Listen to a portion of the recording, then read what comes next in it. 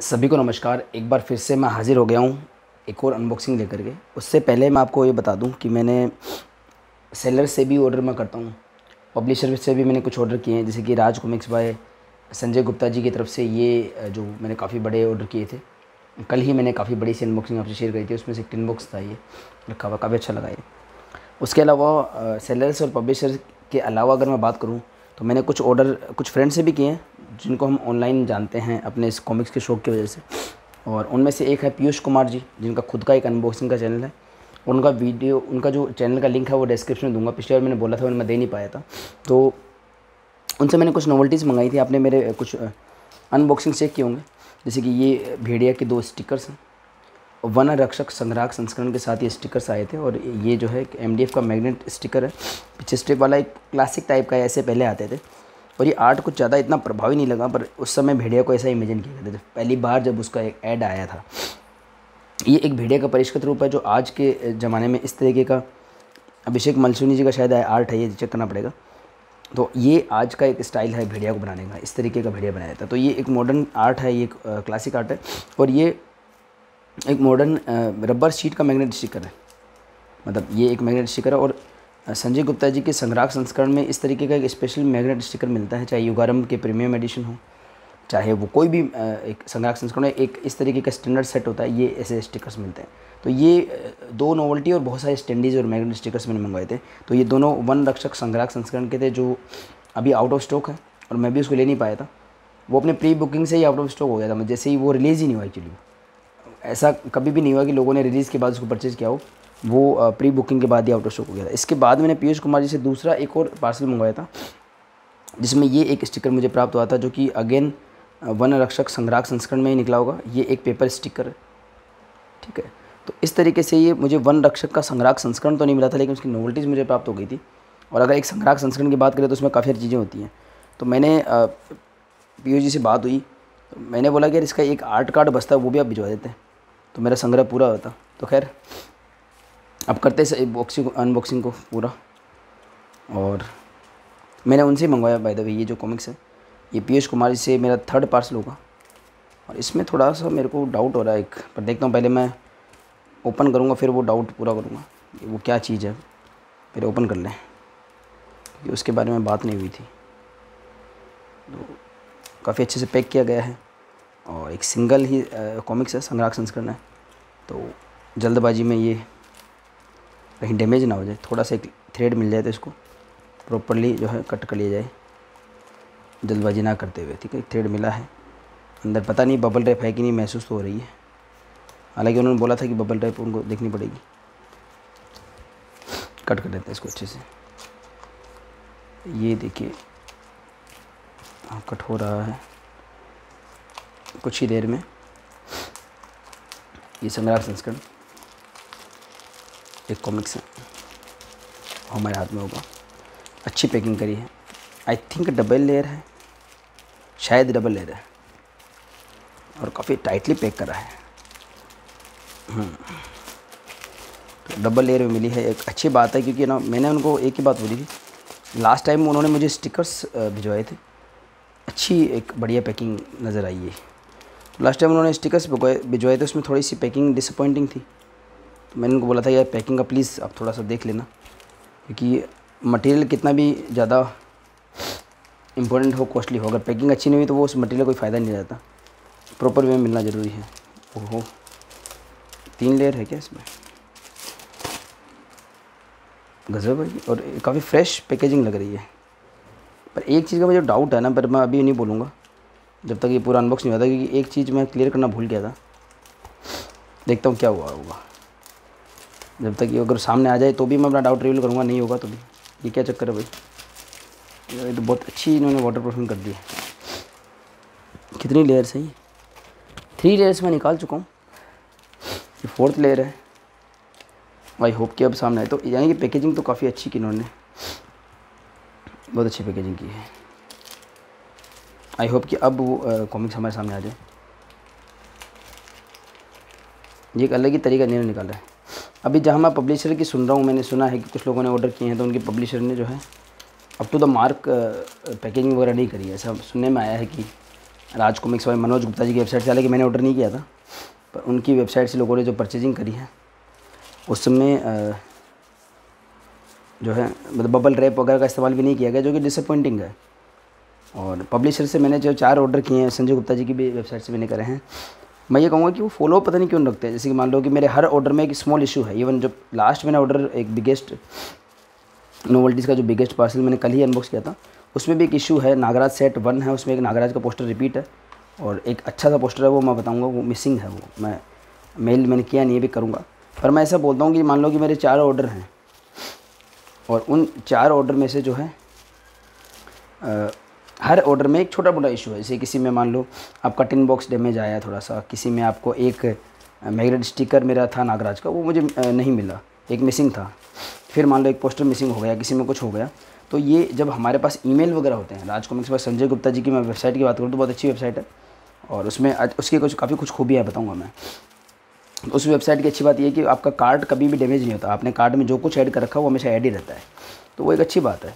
तो वो इतना ट्रेस क्यों नहीं रख पाते? मेरे को अभी भी मेरी समझ से बाहर है कि उनको इतना तो रखना चाहिए कि कस्टमर का रिकॉर्ड जैसे मान लो कि मैंने अभी पाँच से छः ऑर्डर किए हैं। छः हैं कि पाँच, वो चेक करना पड़ेगा। जिनमें से मैं दो ऑर्डर अनबॉक्स कर चुका हूँ राज कॉमिक्स पर संजय गुप्ता जी के, जो पंद्रह अगस्त की सेल थी वो। और उससे पहले मैंने सिर्फ़ दो ही ऑर्डर किए थे, दोनों में इशू आया था।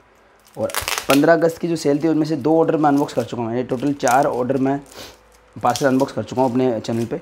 और चारों ही ऑर्डर में माइनर इशू तो आए हैं। ऐसा कोई भी ऑर्डर नहीं हुआ इसमें कोई बिल्कुल भी इशू ना आया हो। ऐसा कुछ भी नहीं हुआ आज तक बोलो।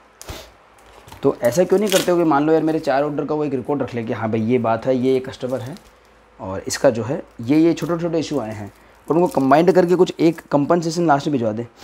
सारे ही मान लो एक करके मान लो कोई टिन बॉक्स भिजवा दिया या फिर वो छोटा छोटा कंपनसेशन दे दे। हाँ, ऐसा कौन बोलता है कि भाई मान लो आपका कोई स्टिकर नहीं है कुछ नहीं है तो ऐसा कोई कोर्ट में हो तो कोई लड़ाई करता है नहीं। कि भाई सेम टू सेम वही का भी स्टिकर चाहिए ऐसा कुछ है। एटलीस्ट इनको कुछ तो कर देना चाहिए। तो ये मैंने देखा है।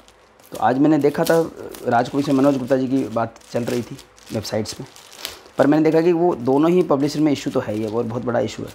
पैकिंग तो सच में उन्होंने अच्छी करी है। हाँ तो जो मुझे शक था, वो अब, अभी कोई चिंता की बात नहीं है। मुझे शक ये था कि इतना टाइटली पैक था, और ये कम्पैक्ट एक संग्राहक संस्करण है। मुझे डर ये लग रहा था इसमें। ये भी जिप लोग इसमें काम आएगी नहीं, पर अच्छी, बहुत बहुत अच्छे से पैक की उन्होंने बहुत बहुत अच्छे से पैक किए मुझे लग रहा था कहीं उन्होंने स्लिप केस ना भेजा ना हो, क्योंकि मेरी इनसे बात नहीं हुई थी। हम जब बात करते ना, कि भाई तो ये वन रक्षक का संग्राहक संस्करण है। अब आपके सामने आ चुका है।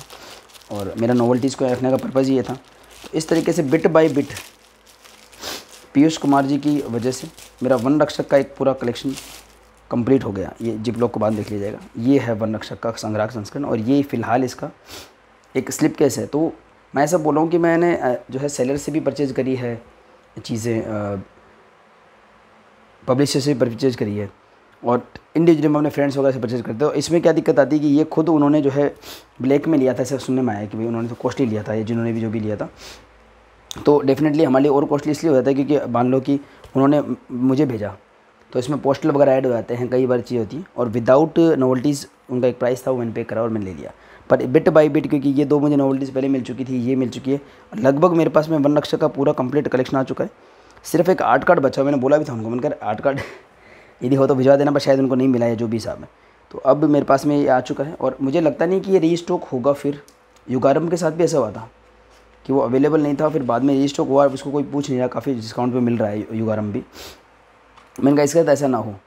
बट इसमें ऐसा है कि जो सेम ये जो अमर प्रेम एक श्रृंखला का भाग है तो वो राज कॉमिक्स में मनीष गुप्ता जी भी अनाउंस कर चुके हैं। उसमें टोटल अट्ठारह कॉमिक्स हैं, पंद्रह प्लस तीन।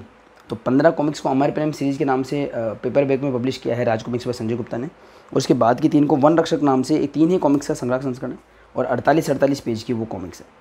हंड्रेड हंड्रेड रुपीज़ के हिसाब से उनके जो है पेपर बैग के रिप्रिंट आए थे, और उसके बाद में उसका ये संग्रह संस्करण आया था, जो कि वैल्यू फॉर मनी था। इतना ज़्यादा खास क्यों है, मुझे नहीं पता पढ़ करके बता पाऊँगा। इतना ज़्यादा ये खास क्यों हो गया? जैसा कि युगारंभ था, उसका तो सोच समझ में आता है। तो इसका खासियत इसकी एक ही बात थी कि वैल्यू फॉर मनी था। सिक्स फिफ्टी रुपीज़ इसका एमआरपी था। डेफिनेटली अब वो उस एम आर मिलना तो मुश्किल है। उससे महँगा ही मिलेगा। तो उसके साथ में देखिए, इस तरीके की नोवल्टीज़ थी स्लिप केस था और जो है एक आर्ट कार्ड था। तो इसका वैल्यू फॉर मनी जो ये था, उस वजह से ये आउट ऑफ़ स्टॉक रहा, किसी को मिला नहीं। तो फिर इसे वैल्यू फॉर मनी प्रोडक्ट निकालने का फ़ायदा क्या हुआ? क्योंकि बाकी सारे प्रोडक्ट तो इनके कॉस्टली थे। एक उन्होंने वैल्यू फॉर मनी निकाला जो कि हमारे लिए वैल्यू फॉर मनी नहीं मिला मतलब मैंने और भी ट्राई किया था मन से परचेज करने का। तो सभी अराउंड थाउज़ेंड के अराउंड पड़ रहा था क्योंकि मतलब आप पोस्टर वगैरह सब पे करते हो, सारा कुछ मिला करके। और फिर उसमें आपको नोवल्टीज़ भी नहीं मिलती। तो ऑटोमेटिकली उनका वैल्यू फॉर मनी प्रोडक्ट भी लोगों के लिए कॉस्टली हो गया। तो इसका जो स्लिप केस का कवर है और जो ये आर्ट है मेन कवर का वो सेम ही है। बस थोड़ा सा ये ठीक लगा मुझे स्लिप केस वाला। ये थोड़ा सा मुझे खिंचा हुआ लग रहा अगर आप इसको भिड़िया के फेस को यदि आप कंपेयर करोगे। तो आप देखेंगे इसमें तो है विथ थोड़ा ज़्यादा है, इसमें थोड़ा लेंथ ज़्यादा है, ऐसा कुछ करके। ये एक मैट फिनिश में है, इस पर कोई भी लेमिनेशन नहीं है और इस पर लेमिनेशन है। तो एक्चुअली अगर ये आउट ऑफ़ स्टॉक नहीं हुआ होता तो इस, उस तरीके से वैल्यू थोड़ा सा उसको इमेजिन करना मुश्किल है। तो ये एक बड़ा इशू है हमारे यहाँ पे कि अभी जो कॉमिक्स वगैरह है, उनकी वैल्यू उनके कंटेंट की वजह से ना करके वो आउट ऑफ़ स्टॉक है कि नहीं है। उस वजह से होती है। जैसे कि आतंक हरता सीरीज़ है बीस कॉमिक्स हैं, उसके चार संग्रह संस्करण, बहुत अच्छी नोवल्टीज उसकी आती हैं। और वो बहुत अच्छी डील में मिल रहे थे मतलब भी, क्योंकि मेरे पास तो हैं तो मैं परचेज नहीं कर सकता था। अदरवाइज़ संजय गुप्ता की वेबसाइट से दो हज़ार रुपये तक वो मिल रहे थे मतलब चारों के चारों संग्रह संस्करण अलॉन्ग विद दोस्त नोवल्टीज़ और उसमें मतलब वन नक्श का अगर आप ब्लैक में दो पीस लेते हो तो उसमें तो चारों आतंक करता आ जाएँगे। या फिर अभी ये ऐसे फिर भी मिल रहे हैं आपको फेसबुक वगैरह पे। इस वजह से मिल जा रहे हैं, क्योंकि मनीष गुप्ता जी ने संपूर्ण हमारे प्रेम बिग साइज़ में अनाउंस कर रखा है। तो इंसान, एक इंसान ये भी सोचता है कि उसने यदि ब्लैक में लिया हो तो जो वैल्यू फॉर मनी तलाशते हैं, जो केवल पेपर वेक वगैरह लेते हैं, मान लो पी हैं या कोई और भी हैं तो वो ये सोचते हैं कि चलिए यार, इसको थोड़ा सा बेच करके अपना जो मनी रिकवर करा जाए और उसको थोड़ा ऐड करके हम मनीष गुप्ता जी वाला अदर कोई संग्रह सेशन ले लेंगे तो वो थोड़ा वैल्यू फॉर मनी रहेगा। आई थिंक इसी वजह से अब ये अवेलेबल हो रहे हैं। तो ये जो तीनों कॉमिक्स इसमें शामिल हैं, उनका नाम बताता हूँ अब इसकी अवेलेबिलिटी वगैरह को छोड़ करके मेन कॉमिक्स की बात करते हैं। तो तीन कॉमिक्स इसमें हैं, वन रक्षक, शापित रक्षक और आहुति, इसका नाम रखा गया उद्गम श्रृंखला, और ये इसका एक फॉर्मेट है, इस तरीके से अवेलेबल है। तीनों कॉमिक्स विदाउट कवर इसमें शुरुआत हो जाती है। यहाँ पर क्रेड्स दिए हुए हैं, देखिए। और आर्ट जो है इसमें आई थिंक आदिल खान जी का होगा चेक करना पड़ेगा। ठीक है, आदिल खान जी का आर्ट है। और उस समय इतना ज़्यादा वो कंपेलिंग नहीं लगता था मतलब क्योंकि हमको धीरे धीरे जी का भिड़िया वगैरह पढ़ने की आती तो वो इतना कोई ख़ास नहीं नॉर्मल कॉमिक जैसे कॉमिक से नॉर्मल जो आती है, अड़तालीस अड़तालीस पेज की, उसको अवॉइड भी किया जाता था मेरे द्वारा। देखिए आप आर्ट वगैरह आप चेक कर सकते हैं। इसकी खासियत मुझे तो अभी एक ही लगी स्टोरी तो मैं पढ़ूँगा जो पढ़ूँगा। एक ही खासियत लगी संग्राहक संस्करण की, बस इसका आउट ऑफ़ स्टॉक होना। बस स्टॉक में नहीं है, यही है इसकी वैल्यू है फ़िलहाल। और जैसे ये रीस्टॉक होगा, जैसे कि युकारम की जो हालत हुई है तो मेरे ऐसे को और शौक लगता है जब मान लो आप कहीं से कॉस्टली परचेज यदि कर लेते हो, और फिर यदि वो री स्टॉक हो जाता है, क्योंकि अगर आप सोचो ये री स्टॉक होता तो इसकी वैल्यू होती है six fifty M R P then फिर उस पर डिस्काउंट्स मिलते हैं आपको। और अभी जैसे सेल वगैरह मिली है, पंद्रह अगस्त वगैरह पे तो ये काफ़ी सस्ता मिल सकता था। बस जस्ट बिकॉज़ ये आउट ऑफ़ स्टॉक है। सेकेंड कॉमिक्स इसमें है, शापित रक्षक। तो शायद भेड़िया के उद्गम को थोड़ा और अच्छे से तराशा गया है। ये पेजेस ग्लोसी नहीं है। कुछ ज़्यादा ही मेट फिनिश वाले पेजेस हैं। सेकंड जो है शापित रक्षक वो। और उसके बाद में देखिए, ये इस तरीके का आर्ट है यार। मतलब इतना ज़्यादा इसको खास किस तरीके से बनाया गया है। ये अमेजिंग फ्रेंड्स ऑफ़ नागराज जैसे लग रहा है कि जैसे उसको खास बनाया गया है।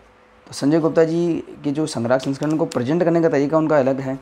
उसकी मार्केटिंग करने का तरीका अलग है। अदरवाइज़ मुझे तो कुछ ये इतना ज़्यादा कंपेलिंग आर्ट नहीं लग रहा। मतलब जैसे कि कोबी और भेड़िया और बली कुठार, अगर इनका कोई कंबाइंड कलेक्टर एडिशन आता। और फिर वो यदि आउट ऑफ़ स्टॉक रहा होता तो वो बात मुझे समझ में आती। आर्ट मुझे इतना कंपेलिंग नहीं लगा। अरे, सुशांत पंडा जी का आर्ट है आहुति में। और देख लेते हैं। सेकंड कॉमिक्स में भी सुशांत अच्छा ठीक है। इसमें सुशांत पंडा जी का है। पहले वाली में आदिल खान पठान जी का है। आई थिंक सुशांत पंडा जी वाला आर्ट थोड़ा सा बेटर लगा मुझे। तो ये इनका अच्छा डिसीज़न रहा होगा पीयूष जी का इसको बेचने का। क्योंकि वो तो अगर एक संग्रह के लिए हम इतने सारे वेरिएंट लें तो एक अलग बात है। मेरे पास तो काफ़ी बड़ा संग्रह हो चुका है। अदरवाइज़ मुझे लगता नहीं इसकी कोई खास वजह इसको रखा जाए। इसको बेच करके यदि इसी प्राइस मान लो कि आपने इसको जितने में इनको मिला था, उन्होंने मान लो उतने में निकाल दिया। और फिर उस प्राइस में आप पंद्रह अगस्त सेल पे बढ़िया ऑर्डर कर दो, पहले डील कर लो पंद्रह अगस्त को तो मेरे हिसाब से वो बेटर रहता है उनके लिए ऑप्शन क्योंकि उसी, अगर आप एक्सचेंज वगैरह में भी देखो तो मतलब उस हिसाब से देखो तो ज़्यादा जैसे कि आपको युगारम है, वो फोर्टी परसेंट तक लेस पे मिल जाता है। तो ऐसा करके आप एक अच्छी डील प्राप्त कर सकते हो। और मेरे जो आ, मैंने इससे पहले वाली जो अनबॉक्सिंग करी थी उसमें नाग पर्व मैंने मंगवाया था। उसका भी यही कारण था कि मैंने जय कश्यप जी से इसी की मैंने डील कर ली थी। इसके एक्सचेंज में विदाउट नोवल्टीज़ मैंने नाग पर्व को डील कर लिया था। इसी वजह से मैंने उसको पेपर वेक ऑर्डर किया था। फिर कर उन्होंने सेल कर दिया बात अलग है तो ये है भाई इसमें अगर कुछ और ख़ास मुझे लगेगा तो मे बी वो स्टोरी खास हो सकती है। और तो मुझे कुछ खास लगा नहीं। और फिर ये कुछ एक्स्ट्रा पेजेस है। स्वर्ण पृष्ठ ये मुझे काफ़ी पसंद है। तो इसको पढ़ करके देखा जाएगा कि इसमें क्या ऐसा खास है। और ये एक संग्रह में मेरे नहीं था और मुझे लग नहीं रहा था कि ये रिस्टॉक होगा, मे भी रिस्टॉक हो जाए। पर यदि नहीं भी होता है तो मेरे एक संग्रह में रहेगा। हालाँकि मैं मनीष गुप्ता जी वाला भी ऑर्डर कर चुका हूँ। तो ये इसमें आवरण दीर्घ है, इसमें देखिए उद्गम श्रृंखला का जो है ये, वन रक्षक, शापित रक्षक और आहुति के कवर आर्ट्स इसमें हैं। इसके अलावा कुछ अप्रकाशित चित्र हैं, आदिल खान जी के बनाए हुए कोबी और बढ़िया के। और ये देखिए आप। ये एक सबसे ज़रूरी जो चीज़ है मतलब एक धीरज वर्मा जी का बनाया हुआ पेंसिल आर्ट है, जिसमें फूजो बाबा जो है, आई थिंक ये जो है अब देख लीजिए इसमें शायद भिड़िया का डेथ वगैरह ऐसा कुछ दिखाया होगा चेन के कुछ जो भी दिखाया होगा, पढ़ना पड़ेगा।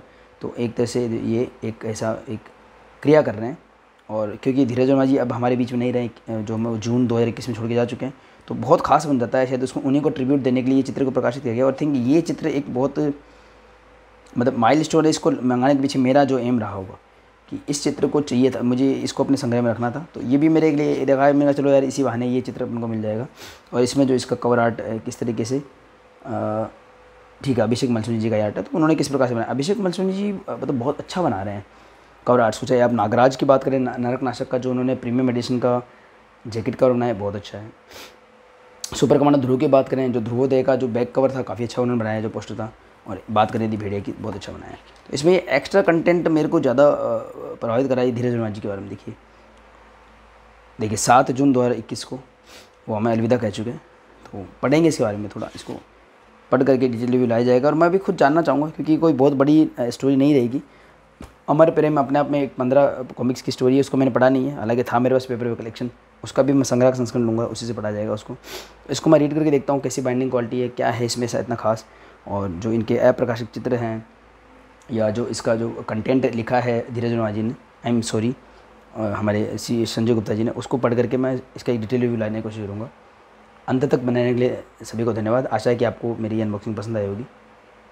मिलते हैं किसी वीडियो में।